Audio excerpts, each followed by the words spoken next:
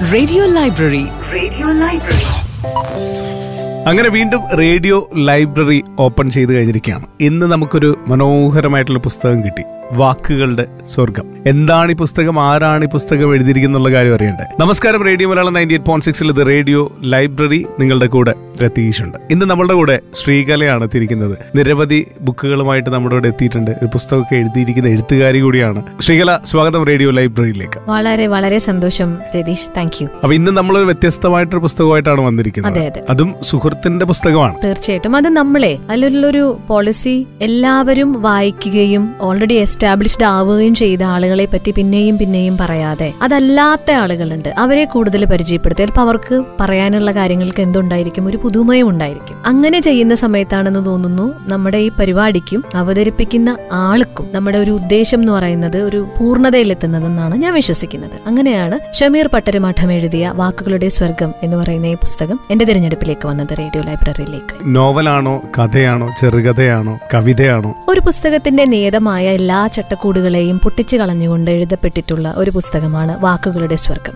സത്യത്തിൽ ഇത് വാക്കുകൾ ആശയങ്ങളായി പൂക്കുന്ന ഒരു ഇടമാണ് എന്ന് ഞാൻ പറയും. എന്തുകൊണ്ടാണെന്ന് വെച്ചാൽ ഷമീർ എന്ന് പറയുന്ന വ്യക്തി അയാൾ ഇത്രയും കാലം ജീവിച്ചതിന് ഇടയ്ക്ക് കടന്നുപോയിട്ടുള്ള അനുഭവങ്ങൾ സന്ദർഭങ്ങൾ നിമിഷങ്ങൾ ഇതിൽ നിന്നെല്ലാം ഉൾക്കൊണ്ട് വന്ന ഒരുപാട് കാര്യങ്ങളെ ചില വിവരണങ്ങളാക്കി കവിതകളാക്കി കഥകൾ പോലെ അനുഭവക്കുറിപ്പുകളാക്കി അങ്ങനെ എല്ലാം എഴുതിയിട്ടുള്ള ഒരു പുസ്തകം. അതുകൊണ്ട് ഇതൊരിക്കലും ഇന്നതാണ് ഈ പുസ്തകത്തിന്റെ സ്വഭാവം എന്ന് പറയുന്ന അല്ലെങ്കിൽ ഒരു ജോണർ ഈ ജോണറിലാണ് ഇത് എഴുതപ്പെട്ടിട്ടുള്ളത്. അങ്ങനെ നമുക്കിത് ഇതിനെ ഉൾപ്പെടുത്താനായിട്ട് പറ്റില്ല. പക്ഷെ ഈ പുസ്തകം നമുക്ക് വായിക്കുന്ന സമയത്ത് കിട്ടുന്ന ഒരു പുതിയ ഒരു അനുഭവമുണ്ട് ഓ ഇങ്ങനെയും ഒരു പുസ്തകം എഴുതാമല്ലേ? നമുക്ക് ഈ പുസ്തകത്തിൽ കയറ്റിറക്കങ്ങൾ ഒന്നുമില്ല എന്നാൽ ഈ പുസ്തകം നമുക്ക് തരുന്നത് മുഴുവനും ഒരുപാട് പോസിറ്റീവ് ആയിട്ടുള്ള കാര്യങ്ങൾ മാത്രമാണ് സുഖമായിട്ടുള്ള ഒരു വായനയുടെ അനുഭവമാണ്. അപ്പൊ അതുകൊണ്ട് തന്നെയാണ് ഈ പുസ്തക ഈ അതുകൊണ്ട് ഈ പുസ്തകത്തിനെ നമ്മൾ ഈ പറഞ്ഞതിലൊന്നും ഉൾപ്പെടുത്താൻ കഴിയുന്നില്ല എന്നുള്ളത് എന്നുള്ളതും എടുത്തു പറയുന്നു.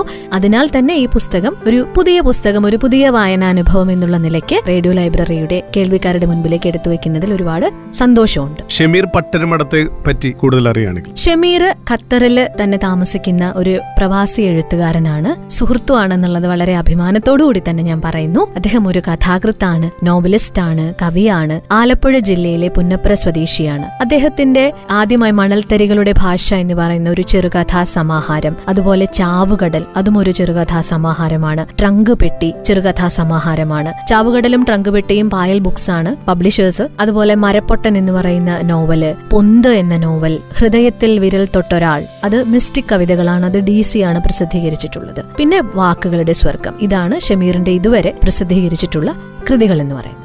വിശുദ്ധത വാക്കിലോ പ്രവൃത്തിയിലോ അല്ല ഹൃദയങ്ങൾ തമ്മിലുള്ള ബന്ധം കാത്തു സൂക്ഷിക്കുന്നതിലാണ്. വെറുതെ പരസ്പരം തിരിഞ്ഞിരുന്നാൽ പോലും ഹൃദയങ്ങൾ നേർക്കുനേർ മിണ്ടിക്കൊണ്ടേയിരിക്കും. ഭൂമിയിൽ ഓരോ മനുഷ്യർക്കും അങ്ങനെ ഒരാൾ ഉണ്ടായിരുന്നുവെങ്കിൽ ഇതുപോലെ പലതും ഷമീർ നമുക്ക് പറഞ്ഞു തരുന്നുണ്ട് ഈ പുസ്തകത്തിലൂടെ. എനിക്ക് തോന്നുന്നു നമ്മൾ പറഞ്ഞു പോകുന്നതിനേക്കാളും വായിച്ചു വായിച്ചു പോകുന്ന സമയത്ത് കേൾക്കുന്നവർക്കും എടുക്കാനായിട്ട് അതിൽ നിന്ന് ഒരുപാട് ഉണ്ടാവുമായിരിക്കും. അങ്ങനെ തന്നെയാണ് ഈ പുസ്തകം അവതരിപ്പിക്കേണ്ടതെന്നാണ് ഞാൻ മനസ്സിലാക്കുന്നതും. ധാരണകളെ പറ്റി അതുപോലെ ഹൃദയത്തിൽ വാക്കുകൾ ഉണ്ടാക്കുന്ന മുറിവുകളെ പറ്റി മനോഹരമായിട്ട് ഷമീർ എഴുതി വെച്ചിട്ടുണ്ട്. ധാരണകൾ പലപ്പോഴും തെറ്റിദ്ധാരണകളാകാറാണ് പതിവ്. ഊഹങ്ങളെയാകും ധാരണകളായി ഉറപ്പിക്കുക. ശരിയായ കാരണങ്ങളെ അന്വേഷിക്കാത്ത കാരണത്താലും ബന്ധങ്ങളിൽ വിള്ളലുണ്ടാവുകയും പല ദിക്കിലേക്ക് അകന്നു പോവുകയും ചെയ്യുന്നത് നമ്മൾ ചിന്തിക്കാറില്ല. അവർ അങ്ങനെയാണ് ഇവർ ഇങ്ങനെയാണ് എന്നൊക്കെ. ശരിക്കും കാരണങ്ങളെ അന്വേഷിച്ച് കണ്ടെത്തിയാൽ അവരങ്ങനെ അല്ലല്ലോ എന്ന വ്യക്തമായ ചിത്രമാകും കിട്ടുക. പല മനുഷ്യരും തൊട്ടടുത്താണെന്നത് തോന്നലുകളാണ്. രണ്ട് കരകളിലാണ് നടുക്കൊരു നദിയുണ്ട്. ഒരു മനുഷ്യനിൽ നിന്നും മറ്റൊരു മനുഷ്യനിലേക്ക് നീന്തിക്കയറുക തന്നെ വേണം. ജീവന്റെ മറുകരകളിൽ വെറുതെ പരസ്പരം നോക്കി നിൽക്കുകയാണ് നമ്മൾ. നമ്മൾ ആൾക്കാരെ മനസ്സിലാക്കാന്ന് പറയുമ്പോൾ ഞാൻ എപ്പോഴും വിചാരിക്കും മുമ്പ് ഒരിക്കൽ ഒരേ ഒരുപാട് നാൾ മുമ്പ് എഴുതി വെക്കുകയും പിന്നീട് അത് പലരും ആവർത്തിച്ച് കേൾക്കുകയും ചെയ്ത ഒരു വാചകമുണ്ട്. ഈ ഭൂമിയിൽ ഏറ്റവും നന്നായിട്ട് നമ്മളെ അറിയുന്നത് ആർക്കാണ്? നമുക്കാണ് വേറെ ആർക്കും അറിയില്ല. അതെന്തുകൊണ്ടാണെന്ന് വെച്ചപ്പോൾ നമ്മൾ എത്ര അടുത്ത സുഹൃത്ത് അമ്മയാണ് എന്റെ പെറ്റമ്മയാണ് എന്റെ അച്ഛനാണ് എന്ന് പറഞ്ഞാലും നമ്മുടെ ഉള്ളിൽ നടക്കുന്ന ചിന്തകളെ അപ്പാടെ പകർത്തിയെടുക്കാനായിട്ട് എല്ലാവരും അശക്തരാണ് എല്ലാവരും അപ്രാപ്യരാണ്. അങ്ങനെ ഒരു കാര്യത്തിന് എത്ര ലളിതമായിട്ടുള്ള ഭാഷയിലാണ് ഷമീർ ഇതിനകത്ത് എഴുതി വെച്ചിരിക്കുന്നതെന്നാണ് ഈ വാചകങ്ങളിലൂടെ കടന്നുപോയപ്പോൾ എനിക്ക് തോന്നിയത്. അതുപോലെയാണ് നമ്മൾ ഉപയോഗിക്കുന്ന വാക്കുകളുടെ ഒരു ആഴത്തിനെ പറ്റി പറയുന്നത്. എത്ര കാലം കഴിഞ്ഞാലും ഉണങ്ങാതെ പോകുന്നൊരു മുറിവാണ് ഹൃദയത്തിലുണ്ടാകുന്ന മുറിവ് അളക്കാനാവാത്ത ആഴമുണ്ടാകും. ഒരാളിൽ ഏൽക്കുന്ന മുറിവുകൾക്ക് അറിഞ്ഞോ അറിയാതെയോ മറ്റൊരാളോ സമൂഹമോ കാരണമാകുന്നുണ്ട്. മറ്റൊരാളെ മുറിപ്പെടുത്താതിരിക്കാൻ വാക്കുകൾ ശ്രദ്ധിക്കണം. വാക്കിനോളം മൂർച്ച ഒരു ഒരായുധത്തിനുമില്ല. പറയുമ്പോഴും എഴുതുമ്പോഴും കരുതലുണ്ടാകണം. സാന്ത്വനമല്ലാതെ ഒരു മരുന്നും ഹൃദയമുറിവിന് പരിഹാരമല്ല. തെളിമയുള്ള വാക്കുകൾ കൊണ്ട് മുറിവുകൾ കഴുകിയുണക്കുന്നവരാകട്ടെ ഓരോ മനുഷ്യരും. ഇതുപോലെയൊക്കെ നമ്മൾ വായിച്ചു പോകുന്ന സമയത്ത് ഈ വാചകങ്ങൾ തീർച്ചയായിട്ടും നമ്മുടെ ഉള്ളിലേക്ക് നിറയ്ക്കുന്നത് ഒരു തൃപ്തി അല്ല നിരയിൽ ഒരു തിരിച്ചറിവ് അല്ല നിരയിൽ ഒരു സമാധാനിപ്പിക്കൽ. ഇതല്ലാതെ മറ്റെന്താണ്? വാക്കുകൾ ആശയങ്ങളായി പൂക്കുന്ന ഇടം.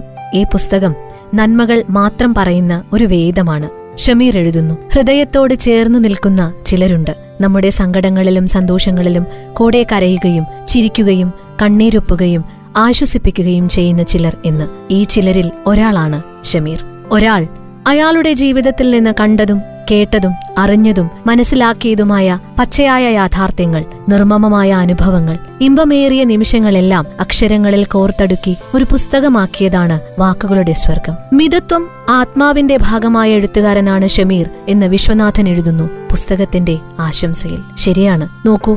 ക്ഷമയെപ്പറ്റി ഷമീർ എഴുതിയിരിക്കുന്നത് ക്ഷമ വിശ്വാസത്തിന്റെ ഭാഗമാണെന്ന് പഠിച്ചിട്ടുണ്ട്.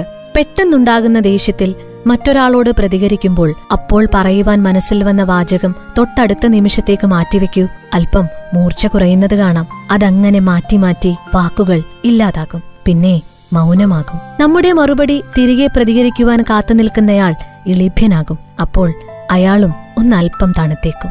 കുറച്ചു കഴിയുമ്പോൾ നമ്മൾ രണ്ടാളും ചിന്തിക്കും എന്തിനു വേണ്ടിയായിരുന്നു? ആർക്കു വേണ്ടിയായിരുന്നു ഈ ശത്രുത? സ്വയം മനസ്സിനെ നിയന്ത്രിക്കുവാൻ സാധിക്കുന്നയാൾക്ക് മറ്റൊരാളുടെ ഹൃദയവും കീഴടക്കാൻ സാധിക്കും. നമ്മൾ ഈ ചരിത്രം എന്നിലൂടെയൊക്കെ കണ്ടുകൊണ്ടിരിക്കുന്ന സമയത്ത് ഒരിക്കൽ ലാൽ ജോസ് പറഞ്ഞ ഒരു കാര്യമുണ്ടായിരുന്നു. അതായത് ഒറ്റപ്പാലം എന്ന് പറയുന്ന സ്ഥലത്തിനെ പറ്റി പറയുമ്പോൾ അദ്ദേഹം പറഞ്ഞു ഒറ്റപ്പാലത്തിന് സ്വന്തമായിട്ട് ലൈംഗിക തൊഴിലാളികൾ ഉണ്ടായിരുന്നു അവരുടെ തന്നെ സ്വന്തമായ മാനസിക നില തെറ്റിയ ആളുകൾ ഉണ്ടായിരുന്നു ഇപ്പൊ നമ്മൾ ഭ്രാന്ത് എന്ന് പറയുന്ന വാക്ക് ഇപ്പൊ നമ്മൾ പൊളിറ്റിക്കലി ഇൻകറക്റ്റ് ആകുമോ എന്നൊരു പേടിയുള്ളത് കൊണ്ടാണ് ഞാൻ സംബന്ധ മാനസിക നില തെറ്റിയവർ എന്ന് പറയുന്നത്.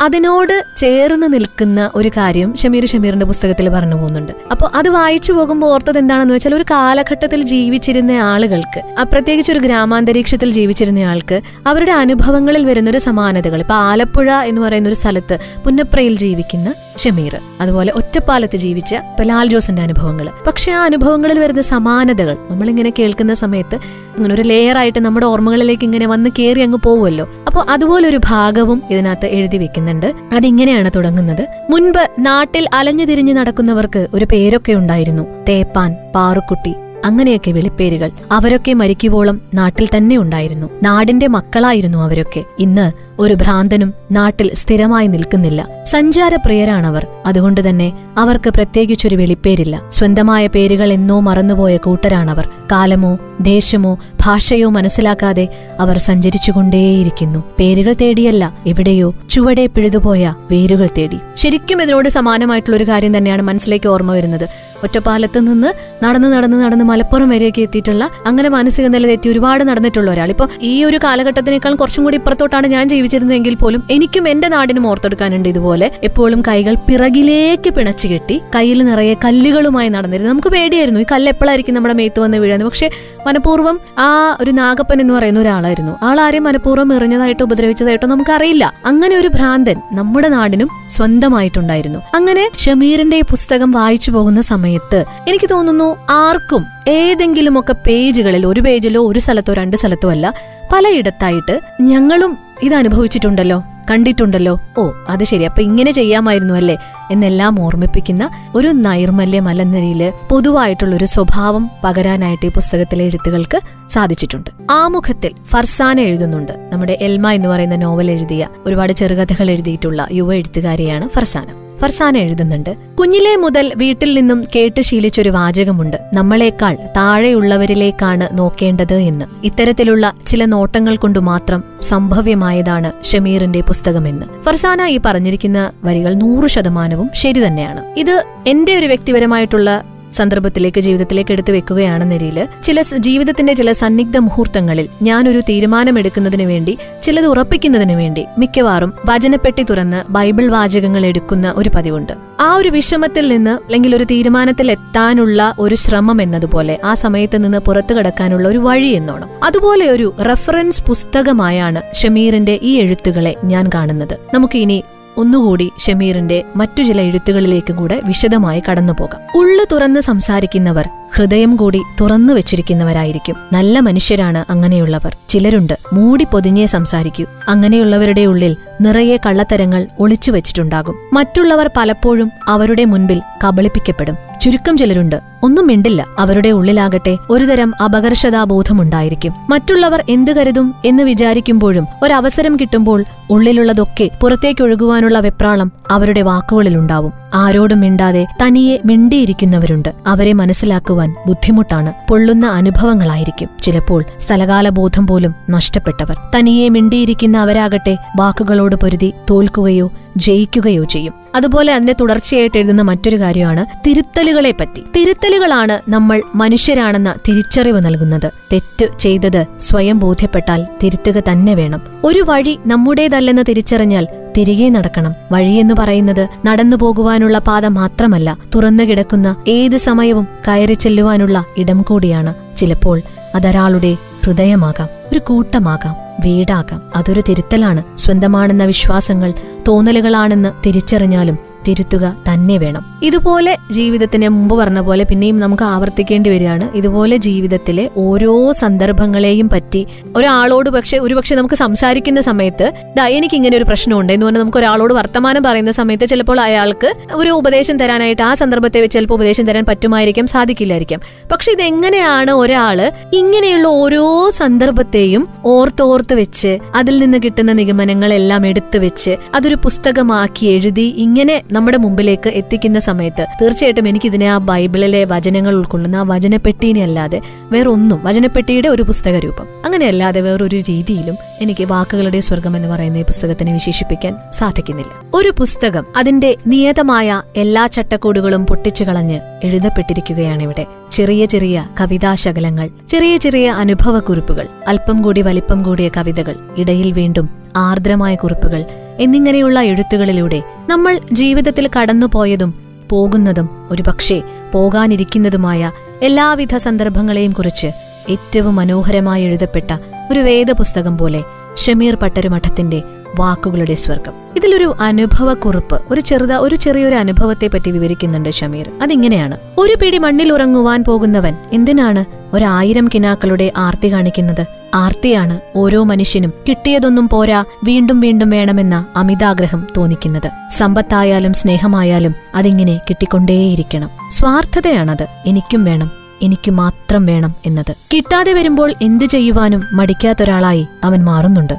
അറിയാവുന്ന ഒരാൾ ഒരു ചെറിയ സ്ഥാനം കിട്ടാനായി നൽകിയത് പതിനഞ്ച് ലക്ഷം രൂപ. ഓർക്കണം ഒരു ജോലിക്ക് വേണ്ടിയല്ല ഒരു സ്ഥാനക്കയറ്റത്തിന് വേണ്ടി. മൂന്ന് പാവപ്പെട്ട കുടുംബത്തിന് ആ തുക വീട് വെക്കാൻ നൽകിയിരുന്നെങ്കിൽ തെരുവിൽ നിന്നും ചോരാത്ത പുതിയ വീടിനകത്തിരുന്ന് അവരുടെ പ്രാർത്ഥനയിൽ ജീവിതത്തിൽ ആ മനുഷ്യൻ എപ്പോഴും ആകാശത്തോളം നിറഞ്ഞിരുന്നേനെ. മനുഷ്യർ അങ്ങനെയാണ്. അവനവനിലേക്ക് ചുരുങ്ങി ചുരുങ്ങി ഒരു ചെറിയ വൃത്തത്തിനുള്ളിൽ അവന്റേതു മാത്രമായ യാഥാർത്ഥ്യത്തിലും മറ്റുള്ളവർ തന്നെ വലുതായി കാണുന്നുവെന്ന തോന്നലിലും ഒതുങ്ങിപ്പോകുന്നുണ്ട് വല്ലാതെ. രതീഷ് എനിക്ക് തോന്നുന്നതേ നമ്മൾ ഇതുവരെ ഒരുപാട് പുസ്തകങ്ങൾ അവതരിപ്പിച്ചു. അപ്പൊ ആ പുസ്തകങ്ങളിൽ നിന്നും വ്യത്യസ്തമായ അതിലൊക്കെ എനിക്ക് തോന്നുന്നു അതിനൊരു പ്രത്യേക ഒരു ജോണർ ഉണ്ടായിരുന്നിരിക്കണമല്ലോ അല്ലെ കഥകളായിരിക്കാം കവിതാ സമാഹാരം ആത്മകഥ ആ യെസ് നോവലുകൾ അങ്ങനെ. അതിൽ നിന്നൊക്കെ വ്യത്യസ്തമായിട്ട് എനിക്ക് തോന്നുന്നു നമ്മുടെ ഈ പുസ്തകം നമ്മൾ അവതരിപ്പിച്ചത് പ്രക്ഷേപണം ചെയ്ത് കഴിയുമ്പോൾ ഇത് കേൾക്കുന്ന പലർക്കും ഇതിൽ നിന്ന് പല കാര്യങ്ങളും ചിലപ്പോൾ അവരുടെ ജീവിതത്തിലേക്ക് എന്നേക്കുമായിട്ട് എടുത്തു വെക്കാൻ പാകത്തിന് കിട്ടും. ഒരുപാട് മോട്ടിവേഷണൽ സ്പീക്കേഴ്സ് ഒക്കെ ഉള്ള ഒരു സമയമാണ്. അപ്പൊ ഇത് മോട്ടിവേഷണൽ സ്പീക്കിംഗ് എന്ന് പറയുന്ന ഒരു പ്രചോദനാത്മകമായി സംസാരിക്കുക എന്ന് പറയുന്ന മനഃപൂർവമായിട്ടുള്ള ഉദ്ദേശത്തോടു കൂടി അല്ലാതെ എന്നാൽ ഒരാൾ അയാളുടെ ജീവിതത്തിൽ നിന്നുകൊണ്ട് വളരെ ആകസ്മികമായി തന്നെ സ്വാഭാവികമായി വളരെ പ്രചോദനാത്മകമായി സംസാരിക്കുന്ന അക്ഷരങ്ങളിലൂടെ സംവേദിക്കുന്ന ഒരു പുസ്തകം. അപ്പോ അങ്ങനെ എടുക്കാനായിട്ട് ആളുകൾക്ക് ഉണ്ടാവുമെന്നുള്ള പൂർണമായിട്ടുള്ള ഒരു ആത്മവിശ്വാസത്തിൽ ഇതാ നമ്മൾ പിന്നെയും തുടരുകയാണ്. ഒരു തിരിച്ചറിവായോ അല്ലെങ്കിൽ ഓർമ്മപ്പെടുത്തലായോ ഉപദേശമായോ എല്ലാം. അങ്ങനെ ഷമീർ ഇതുവരെ ജീവിച്ചു തീർത്ത നിമിഷങ്ങളിൽ നിന്നും അയാളിലെ എഴുത്തുകാരനും താത്വികനും സമാധാനകാംക്ഷിയും എല്ലാം ചേർന്നെഴുതിയ വീക്ഷണങ്ങൾ നിഗമനങ്ങൾ പങ്കുവെക്കലുകൾ അങ്ങനെ നിറഞ്ഞു നിൽക്കുന്ന ഒരു പുസ്തകം. അതിന്റെ ഒരു ഭാഗത്തിൽ ഇപ്പൊ വിഷാദം എന്ന് പറയുന്നത് എല്ലാവരെയും അതിഭയങ്കരമായിട്ട് പിടികൂടുന്ന ഒരു അവസ്ഥയാണ്. നമ്മൾ അതിനെ ഡിപ്രഷൻ എന്ന് അതിനെ സയന്റിഫിക്കലി നമ്മൾ വിളിക്കുന്നു. ആ വിഷാദത്തിനെ പറ്റിയിട്ട് വിശ- വിശദമായിട്ട് പറയുന്ന ഒരു പേജിൽ പറയുന്ന ഒരു ഭാഗമുണ്ട്. വിഷാദം ഒരു രോഗമല്ല. ഒന്ന് തുറന്ന് സംസാരിച്ചാൽ തീരാവുന്ന വിങ്ങിപ്പൊട്ടലാണത്. നമുക്കറിയാം പലപ്പോഴും കേൾക്കാൻ ആളുകളില്ല എന്നുള്ളത് ഇപ്പോഴത്തെ കാലത്ത് മനുഷ്യരെ വല്ലാതെ പിടിച്ചുലയ്ക്കുന്ന ഒരു കാര്യമാണ്. പക്ഷെ എനിക്ക് തോന്നുന്നു കേൾക്കുന്നവർ തന്നെ മുൻവിധിയോട് കൂടിയിട്ടാണ് പല കാര്യങ്ങളും കേൾക്കുന്നത്. അതുകൊണ്ട് പറയുന്നതല്ല പലരുടെയും മനസ്സിലേക്ക് കയറിപ്പോകുന്നത്. മനസ്സിനെ പിടിച്ചുലയ്ക്കുന്ന പ്രശ്നത്തിൽ നിന്നാകും തുടക്കം. അതിൽ നിന്നും പതിയെ പതിയെ മോചനം നേടിയെന്നിരിക്കട്ടെ. പിന്നീട് ഒരു ചെറിയ ആഘാതം പോലും അവർക്ക് താങ്ങാനാവില്ല. അതൊരു തോന്നലാണ്. ആരോടെങ്കിലും വഴക്കിടുമ്പോൾ നിരാശപ്പെടുമ്പോൾ തോറ്റുപോയെന്ന് തോന്നുമ്പോൾ ഉള്ളിലൊരു വിങ്ങലുണ്ടാകും. പൊട്ടിത്തെറിക്കില്ല പുറത്തു ചാടില്ല. അകത്തേക്കോ പുറത്തേക്കോ എന്നറിയാതെ തലയ്ക്കുള്ളിലിരുന്ന് നമ്മളെ വേദനിപ്പിച്ചുകൊണ്ടേയിരിക്കും. ശരിക്കും അതൊരു തോന്നലാണ്. നമ്മൾ വലിയൊരു പ്രശ്നത്തിലാണെന്നും ഒറ്റപ്പെട്ടെന്നും നമ്മൾ നമ്മളെ തെറ്റിദ്ധരിപ്പിക്കുന്നു. ഉമിത്തയിൽ എന്ന പോലെ നമ്മളതിൽ നീറി നീറി പുകയും കത്തില്ല അണയില്ല പുകഞ്ഞുകൊണ്ടേയിരിക്കും. ശരിക്കും ആ അവസ്ഥ മാറണമെങ്കിൽ ഒന്നുകിൽ കത്തിയെരിയണം അല്ലെങ്കിൽ അണയണം. എല്ലാം ഉള്ളിലൊതുക്കി കഴിയുന്നവരെയാണ് ഇത് കൂടുതൽ ബാധിക്കുക. ഈ ഈ വിവരണം അവസാനിക്കുന്നത് ഇങ്ങനെയാണ്. നമ്മുടെ ഉള്ളൊന്ന് ശൂന്യമാക്കുക. അല്പനേരം ധ്യാനത്തിലിരുന്ന് മനസ്സിലുള്ളതെല്ലാം പുറത്തേക്ക് പറത്തിവിടുന്നതായി കരുതുക. എന്നിട്ട് പുതിയതൊന്ന് അകത്ത് നിറയ്ക്കുക. വസന്തം മഞ്ഞ് പുഴ പൂക്കൾ ശലഭങ്ങൾ. അങ്ങനെ കാഴ്ചയുടെ പൂപ്പാടങ്ങളിലേക്ക് ഇറങ്ങി നടക്കുക. പുതിയതൊന്ന് നിറയുമ്പോൾ ശുഭപ്രതീക്ഷകൾ. മനസ്സ് ശാന്തം. തികച്ചും ഇതൊരു മോട്ടിവേഷണൽ ജേണലിൽ പെടുത്താൻ പറ്റുന്നൊരു പുസ്തകം തന്നെയാണ്. തീർച്ചയായിട്ടും അങ്ങനെയും പറയാം. അപ്പൊ ഏതൊക്കെ വാക്കുകളാണ് ഇതിനകത്തുനിന്ന് ശ്രീകലേക്ക് എടുക്കാൻ തോന്നിയത്? കുറച്ചൊരു തമാശ മട്ടി പറയില്ലേ ഞാനൊരു വികാര ജീവിയാണ് എന്ന് പറയുന്ന പോലെ ചില കാര്യങ്ങൾ വളരെ ആഴത്തിൽ ബാധിക്കുക എന്ന് പറയുന്ന ഒരു അവസ്ഥ എനിക്ക് തീർച്ചയായിട്ടും ഉണ്ടായിട്ടുണ്ട്. ഈ പുസ്തകം വായിച്ചുകൊണ്ടിരുന്നിരുന്ന സമയത്ത് ഞാൻ അഭിമുഖീകരിച്ച ഒരു കാര്യമായിരുന്നു ഒരു പിണക്കം സംഭവിച്ചു എന്നുള്ളത്. കൃത്യമായിട്ട് ആ പിണക്കത്തിന്റെ ആ അതിനെ ലഘൂകരിക്കാൻ വേണ്ടിയിട്ട് ഒരു പിണക്കം എന്ന് പറഞ്ഞാൽ ഇതാ അയാളുടെ ഭാഗത്ത് നിന്ന് കൂടി ചിന്തിക്കൂ. അല്ലെന്നരിൽ ആ ഓക്കെ. നിങ്ങളുടെ ഭാഗത്ത് നിന്ന് കൂടി ചിന്തിക്കുമ്പോൾ ഇത് ഇങ്ങനെയും വ്യാഖ്യാനിക്കാം എന്ന് പറഞ്ഞ് അതിലേക്ക് നമുക്ക് വളരെ ക്ലീഷ് പറഞ്ഞു പതിഞ്ഞൊരു ശൈലി നമ്മൾ ഉപയോഗിക്കുകയാണെന്നരിയിൽ മുറിവിൽ നമ്മൾ വെണ്ണ തേക്കുന്നത് പോലെ ഒരു സുഖം തരുന്ന കൃത്യമായിട്ടുള്ള എഴുത്തുകൾ ഇതിനകത്തുണ്ടായിരുന്നു. എനിക്ക് തോന്നുന്നു അതുവരെയും പ്രചോദനാത്മകമായൊരു പ്രചോദനാത്മകമായ ഒരു പുസ്തകം എന്നുള്ള നിലയിൽ അരസമുണ്ടല്ലോ വായിച്ചു പോവാൻ എന്ന് പറഞ്ഞിട്ട് ഇങ്ങനെ വായിച്ചുകൊണ്ട് വായിച്ചു പോയിക്കൊണ്ടിരുന്ന ഞാൻ കുറച്ചുകൂടി ചില സന്ദർഭങ്ങളിലേക്ക് എനിക്ക് തോന്നുന്നു പ്രത്യേകിച്ച് പുസ്തകത്തിന്റെ ഏകദേശം ഒരു മിഡിലെ നടുഭാഗത്തൊക്കെ എത്തുമ്പോഴത്തേക്കും സമാനതകളുള്ള അനുഭവങ്ങൾ സന്ദർഭങ്ങൾ ഇങ്ങനെ വല്ലാതെ വരാൻ തുടങ്ങിയപ്പോൾ അതാണല്ലോ എപ്പോഴും നമ്മൾ ഒരു കാര്യത്തിലേക്ക് ഉറ്റുനോക്കുക എപ്പോഴും അങ്ങനെയാണ്. നമുക്ക് റിലേറ്റ് ചെയ്യാനായിട്ട് പറ്റുമ്പോൾ. അങ്ങനെ റിലേറ്റ് ചെയ്യാൻ തുടങ്ങിയതോടുകൂടി വായന ചടുലമായി എന്നുള്ളത് പറയാം. അതോടുകൂടി ഈ പുസ്തകം ശരിക്കും നമ്മുടെ ഉള്ളിലേക്ക് കയറുകയായിരുന്നു. അപ്പോൾ സ്വാഭാവികമായും ഷമീറിന്റെ ഒരു സുഹൃത്ത് ആയതുകൊണ്ട് തന്നെയും ഇത്തരത്തിലുള്ള വൈകാരികമായിട്ടുള്ള അപ്പ് ആൻഡ് ഡൗൺസ് വരുന്ന സമയത്ത് ഇപ്പൊ ചെറുതായിട്ട് എഴുതുന്ന ഒരു സ്വഭാവം ഉള്ളതുകൊണ്ട് ഞാനും പലതും എഴുതി വെക്കാറുണ്ട്. അപ്പൊ എന്നെ വ്യക്തിപരമായിട്ട് ആകർഷിച്ച ഒരു കാര്യം ഞാൻ കുഞ്ഞു കുഞ്ഞു കുറിപ്പുകളായിട്ട് ഇങ്ങനത്തെ സന്ദർഭങ്ങളിൽ എന്റെ മനസ്സിൽ നിന്നും ഞാൻ ഡിറൈവ് ചെയ്ത ഞാൻ എത്തിച്ചേർന്ന നിഗമനങ്ങൾ. അതുപോലെ തന്നെ ഷമീറിന്റെ പുസ്തകത്തിലും കാണാൻ പറ്റി എന്നുള്ളതിൽ അപ്പൊ നമുക്കൊരു സമാന മനസ്കൻ എന്ന് പറയുന്ന ഒരു ആഭിമുഖ്യം വരുമല്ലോ നമുക്കൊരു സുഹൃത്തിനോട് എന്ന് എന്ന് എന്നുള്ളത് പോലെ അല്ലെങ്കിൽ ഓ അത് ശരി. അപ്പൊ ജീവിതത്തിൽ ഞാനൊരു തത്വം ഒരു പോളിസി ആയിട്ട് എടുത്ത ഈ ഒരു കാര്യം അതിന് വേറൊരാളും കൂടെ സപ്പോർട്ട് ചെയ്യുന്നുണ്ടെന്ന് തോന്നുമ്പോൾ എന്താ പറ്റുക? നമുക്കൊരു ആത്മവിശ്വാസം കൂടും. അപ്പൊ അത്തരത്തിലെല്ലാം പ്രചോദനാത്മകമായിട്ടുണ്ട് സത്യം പറഞ്ഞാൽ. പിന്നെ ഒരുപാട് കാര്യങ്ങളിൽ ഇങ്ങനെയും നമുക്ക് ജീവിതത്തിൽ ഒരു തീരുമാനമെടുക്കാം. അല്ലെന്നരിൽ ഇങ്ങനെ ചെയ്യണ്ട. ശരിക്കും ഒരു ഗൈഡ് പോലെ. ഞാൻ പറഞ്ഞില്ലേ റെഫറൻസ് പുസ്തകമായിട്ട് നമുക്ക് എടുക്കാന്ന് പറയുന്നത് ചുമ്മാ പറഞ്ഞൊന്നുമല്ല. ശരിക്കും നമ്മുടെ ഒരാൾ അയാളുടെ സ്വഭാവത്തിൽ വ്യത്യാസം വരണമെങ്കിൽ എന്തോ വേണം. അയാൾ തന്നെ വിചാരിക്കണം. വേറെ ഒരാളും വിചാരിച്ചിട്ട് യാതൊരു കാര്യമില്ല അപ്പൊ ശരിക്കും വായിക്കുന്ന സമയത്ത് നമുക്ക് നമ്മളെ ഒന്ന് റീമോൾഡ് ചെയ്യണം. ഒന്ന് നമുക്ക് നമ്മളിന്ന് റീസ്ട്രക്ചർ ചെയ്യണം. ഒന്ന് പുനർനവീകരിക്കണം എന്ന് വിചാരമുള്ള ഒരാളാണ് ഈ പുസ്തകം വായിക്കുന്നത് എങ്കിൽ തീർച്ചയായിട്ടും അതിന് ഏറ്റവും സഹായകരമാണ് ഈ പുസ്തകം. തീർച്ചയായിട്ടും എല്ലാവരും ഇത് വായിക്കട്ടെ എന്ന് തന്നെയാണ്. പ്രത്യേകിച്ചും കലി കലുഷിതമായിക്കൊണ്ടിരിക്കുന്ന നമ്മുടെ സമൂഹത്തിൽ ഇത്തരത്തിലുള്ള എഴുത്തുകൾക്ക് വല്ലാതെ പ്രാധാന്യമുണ്ട് എന്ന് ഞാൻ വിശ്വസിക്കുന്നു. പക്ഷെ എനിക്ക് തോന്നിയൊരു കാര്യം ഒരു വാഹനം സർവീസ് ചെയ്തെടുക്കുന്ന പോലെ നമ്മുടെ മനസ്സിനെ ഒന്ന് സർവീസ് ചെയ്തെടുക്കാനായിട്ട് ഈ ഒരു പുസ്തകം നമ്മളെ ഒരുപാട് ഒരുപാട് സഹായിക്കും. ഉറപ്പായിട്ടും ഈ ഒരു പുസ്തകം നിങ്ങളുടെ കൈകളിൽ എത്തിക്കഴിഞ്ഞാൽ അത് വായിക്കുക എന്നുള്ള കാര്യം ഓർമ്മപ്പെടുത്തിക്കൊണ്ട് ഇന്ന് റേഡിയോ ലൈബ്രറിയിൽ നിന്നും രതീഷും ബബൈ പറയുകയാണ്. കേട്ടോണിക്കു കത്തേഴ്സ് on radio station radio Malayalam ninety eight point six F M.